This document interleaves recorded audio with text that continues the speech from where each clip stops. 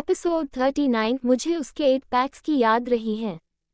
क्रियांशी को ब्रेकफास्ट न करते देखकर सुहानी ने प्यार से उसके सिर पर हाथ रखा और उसे समझाते हुए कहा कि तू क्या सोच रही हो बेटा, खाओ ना।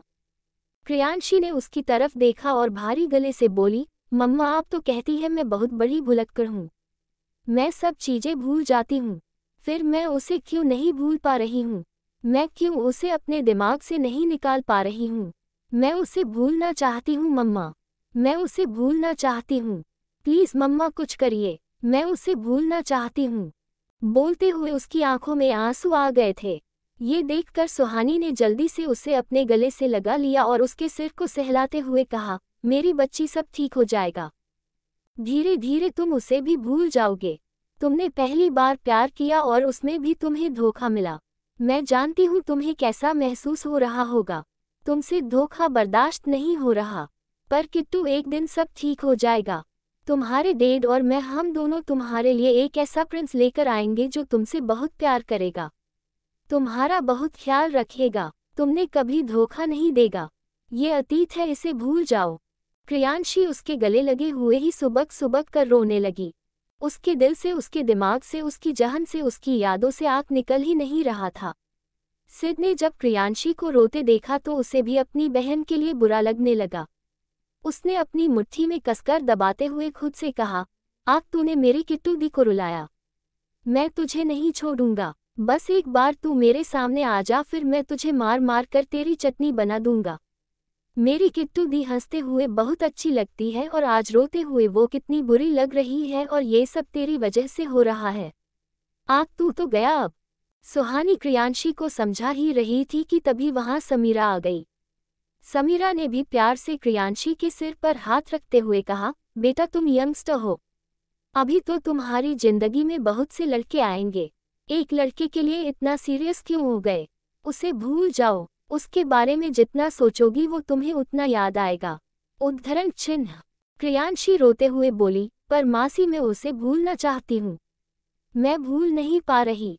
मुझे बार बार उसके एट पैक्स याद आ रहे हैं। उद्धरण चिन्ह। ये सुनते ही समीरा और सुहानी दोनों ही चौंक गई। दोनों ने एक दूसरे को हैरानी से देखा, फिर क्रियांशी को देखा। वो रोते हुए अपने आँसू पोंछ रही थी। सुहानी ने जल्दी से उसकी बाह पकड़ी और उसे देखते हुए कहा, कि तू बेटा, क्या तुम दोनों एक साथ एक कमरे में रहते थे? उद्धरण चिन्ह। क्रियांशी सुबकते हुए बोली, नहीं मम्मा, ठाकुर बहुत खड़ूस है। उसने मुझे रहने के लिए अलग कमरा दिया। वो तो मुझे अपने रूम में घुसने भी नहीं देता था। उद्धरण चिन्ह। ये सुनकर सुहानी ने सुकून की सांस ली तभी समीरा ने उससे पूछा, कि तू बेटा तुम्हें कैसे पता आपके आठ पैक्स है? ये सुनते ही क्रियांशी के होठों पर स्माइल आ गई और मुस्कुराते हुए बोली, मासी ठाकुर के आर्ट पैक्स बहुत स्ट्रांग है, आप देखोगे ना तो आपका भी मन करेगा उसे टच करने का। उसकी बॉडी एक फाइटर की तरह एकदम स्ट्रांग है। वो बहुत पावरफुल है मासी। उद्धरण चिन्ह क्रियांशी की बातें सुनकर समीरा ने अपना सिर पीट लिया और सुहानी की तरफ़ देखते हुए कहा, किट्टू को आग से नहीं, उसके आर्ट पैक से प्यार हो गया है। उद्धरण चिन्ह सुहानी ने उसकी बात पर मुँह बना लिया और क्रियांशी से बोली कि तू बेटा बैड मैनर्स किसी के बारे में इस तरह बात नहीं करते। उद्धरण चिन्ह इस बात पर क्रियांशी तपाक से बोली, पर मम्मा, मैंने किसी और के बारे में कहाँ कहा? मैं तो ठाकुर के बारे में बात कर रही हूँ और आप भी तो पापा के बारे में मासी से एक बार ऐसे ही बात कर रही थी। उद्धरण चिन्ह। उसकी बातें समीरा और सुहानी दोनों को ही शर्मिंदा कर गई थी। सुहानी ने सिर हिलाते हुए धीरे से कहा, इस लड़की का कुछ नहीं हो सकता। ये कहकर वो चली गई। उसके पीछे पीछे समीरा भी चली गई। सिद्ध भी क्रियांशी और उनकी बातें सुन रहा था उनके जाते ही। वो अपनी चे से उठते हुए टेबल पर झुककर क्रियांशी से धीमी आवाज़ में बोला, क्या सच में आपके आठ पैक्स है? क्रियांशी ने मुस्कुराते हुए हम हम कह दिया। सीड ने आगे कहा, क्या वो रोमन रिंग्स जीतना स्ट्रांग है? क्रियांशी होठों पर प्राउडनेस से भरी स्माइल लिए बोली, और नहीं तो क्या? तू देखेगा तो उसका फ़ैन बन जाएगा। सिड ने भी एक्साइटेड होकर कहा, फिर तो मैं उसे देखना चाहता हूँ। इस बात पर क्रियांशी बोली तू इन सब पर ध्यान मत दे। तू ना बस अपने खाने पर ध्यान दे और खा खा कर फट जा। तुझसे कितनी बार कहा है मैंने, थोड़ा सा अपना वेट लूज कर लूज कर, पर नहीं। तुझे तो अपना वेट गेन करना है, गेन करना है, और एक दिन तू खा खा कर बैलून की तरह फट जा। उद्धरण चिन्ह। उसकी बात सुनकर सीट का मुँह लटक गया था। उसने तिरछी नज़रों से क्रियांशी को देखा और मन में ही बोला, बहुत बेजती करती हो ना आप मेरी अब देखना। मैं क्या करता हूँ? बस एक बार मुझे वो आँख मिल जाए। फिर मैं उसका मदद कर दूँगा। उसकी वजह से आज मेरी फिर से बेजती हुई है। मैं उसे नहीं छोड़ूँगा। मैं उसे मार दूँगा। फिर देखता हूँ, उसके मरने के बाद आप उसकी तारीफों की पुल कैसे बांधती हो। उद्धरण चिन्ह। ये कहकर वो क्रियांशी को घूरते हुए चला गया। कियान और अहान दोनों जब घर आए तो कियान स्टेयर से सीधा ऊपर जाने लगा। ये देखकर अहान ने उसे रोकते हुए कहा, कियान मुझे तुझसे बात करनी है। कियान तो सुन रहा है, मुझे तुझसे बात करनी है। कियान ने बिना उसकी तरफ़ देखे स्टेयर्स चढ़ते हुए कहा, अभी नहीं अहान। हम बात करेंगे, पर अभी नहीं। ये कहकर वो अपने रूम में चला गया। उसने रूम में आते ही अपनी कबद खोली और उसमें कुछ ढूँढने लगा। सुहानी जब रूम में आई तो रूम का नज़ारा देखकर वो हैरान रह गई। कबर्ड के सारे कपड़े बैड पर फैले हुए थे और कुछ फ्लो पर फैले हुए थे। और कियान कबर्ड में कुछ ढूंढ रहा था। ये सब देखकर सुहानी उसके पास जाते हुए बोली, ये क्या कर रहे हैं आप? अगर आपको कुछ चाहिए था तो मुझसे कहते। मैं आपको ढूंढ कर देती ये क्या हालत कर दी अपने रूम की और पूरे कबड की। उद्धरण चिन्ह। बोलते हुए सुहानी उसके पीछे जाकर खड़ी हो गई थी। उसे लग रहा था कि कियान उससे कुछ तो कहेगा, पर वो बिना कुछ कहे खामोशी से कबद में कुछ ढूंढता रहा। ये देखकर सुहानी ने उसके कंधे पर हाथ रखते हुए कहा, क्या हुआ कियान? आप क्या ढूंढ रहे हैं? प्लीज़ मुझे बताए। कियान ने बिना उसकी तरफ़ देखे कहा, सुहानी, वो एल्बम कहाँ रखी है? जिसमें तुम्हारी फैमिली फ़ोटो है। उद्धरण चिन्ह। ये सुनकर सुहानी सोचते हुए बोली मेरी फैमिली फ़ोटो वो क्यों चाहिए आपको? किया ने इस बार भी उसकी तरफ़ देखे बिना कहा, सुहानी सवाल के बदले सवाल नहीं। मुझे वो एल्बम चाहिए, उद्धरण चिन्ह। जैसे ही उसने ये कहा, उसके हाथ में वो एल्बम आ गई। कियान एल्बम को लेकर बैठ गया और उसे खोलकर देखने लगा। सुहानी भी असमंजस में उसे देखते हुए उसके सामने जाकर बैठ गई और एल्बम को देखकर उससे बोली, क्या हो गया आपको? आप सालों बाद क्यों इसे देख रहे हैं? क्या कोई बात है?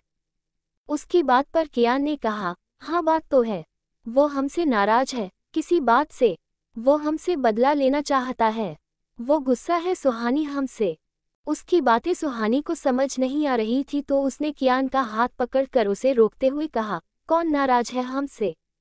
कौन गुस्सा है? आप किसकी बात कर रहे हैं? किया ने एल्बम में देख रहे कर्म की फ़ोटो को देखते हुए कहा, ये नाराज़ है हमसे। उद्धरण चिन्ह। सुहानी ने उसकी नज़रों का पीछा किया और कर्म की फ़ोटो को देखकर वो अपनी भौहें सिकुड़कर बोली, कर्म। किया ने कहा हाँ कर्म। कर्म ही आँख है। उद्धरण चिन्ह। ये सुनते ही सुहानी की आँखें शौक में बड़ी हो गई और वो एक नज़र कर्म की फ़ोटो को देखकर कियान से बोली, ये आप क्या कह रहे हैं? ये कैसे हो सकता है? कर्म आप कैसे हो सकता है? किया ने उसे देखते हुए कहा यही सच है, सुहानी कर्म ही आँख हैं। और फिर वो आज के पूरे इंसिडेंट के बारे में सुहानी को बताने लगा। उसकी पूरी बात सुनकर सुहानी और हैरान रह गई। उसे समझ नहीं आ रहा था कि आखिर कर्म आग कैसे बन सकता है। और अतीत में ऐसा क्या हुआ जिसका दोषी वो उन दोनों को समझता है। ये सब सोचते हुए सुहानी ने कियान से कहा, हमें कर्म से बात करनी होगी। हमें उसे समझाना होगा। कियान ने उसकी आँखों में देखते हुए कहा, हम उससे मिलकर उसे क्या समझाएँगे? क्या हम जानते हैं उसके साथ क्या हुआ था? उस दिन के बाद से तो हम दोबारा उससे मिले भी नहीं। तुमने कहा कर्म के डेढ़ वापस आकर उसे ऑस्ट्रेलिया ले गए हैं, और फिर हम कभी उससे मिले भी नहीं। ना एक दूसरे से बात की तो हमें कैसे पता सुहानी उसके साथ क्या हुआ और वो क्यों सबका जिम्मेदार हमें मानता है? इस बात पर सुहानी ने सोचते हुए कहा, कहीं ऐसा तो नहीं कियान हमारे आने के बाद कुछ हुआ हो? उद्धरण चिन्ह, कियान ने सिर हिलाते हुए कहा, पता नहीं, पर हमें पता करना होगा। वो मुझे अपना अतीत बताने के लिए तैयार नहीं। अब हमें खुद ही पता करना होगा कि उसके साथ आखिर हुआ क्या था। क्यों वो कर्म राजावत से आग बन गया? सुहानी ने उसके हाथ पर अपना हाथ रखते हुए उसे कंसोल करते हुए कहा, मैं इस बारे में देव से बात करती हूँ। देव को ज़रूर कुछ पता होगा। उद्धरण चिन्ह। किया ने प्यार से उसके गाल पर हाथ रखा और उसे देखते हुए सिर हिला दिया। वहीं दूसरी तरफ़ आक अपने घर में ही बार में बैठा था। वो एक के बाद एक शॉट्स लिए जा रहा था।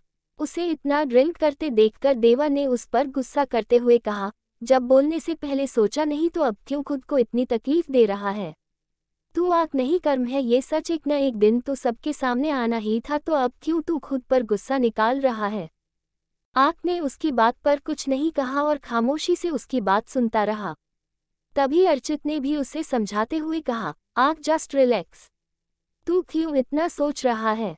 सच सामने आने से हालात नहीं बदल जाएँगे। ना हम बदल जाएँगे। हम भी वही है और हमारा रिवेंज भी वही है। केयान ओब्रॉय को तड़पाना और उससे बदला लेना। यही हमारा एम है, जिसे हम बहुत जल्द पूरा करेंगे। उद्धरण चिन्ह। उसके चुप होते ही आँख ने कहा, मुझे गुस्सा इस बात पर नहीं आ रहा। मुझे गुस्सा खुद पर आ रहा है जिस इंसान ने हमें बर्बाद करने में कोई कसर नहीं छोड़ी। मैं उस इंसान की जान कैसे बचा सकता हूँ? मैंने क्यों नहीं उसे मर जाने दिया? मैंने क्यों उसे बचा लिया? ये सुन देवा ने उसने कंधे पर हाथ रखते हुए कहा, जो होना था हो गया। अब ये सोच कि आगे क्या करना है? क्योंकि सच अब कियान ओबरॉय को पता चल गया है। और ये भी सोच कि दद्दा वापस आएँगे तो उनसे क्या कहेंगे? उद्धरण चिन्ह।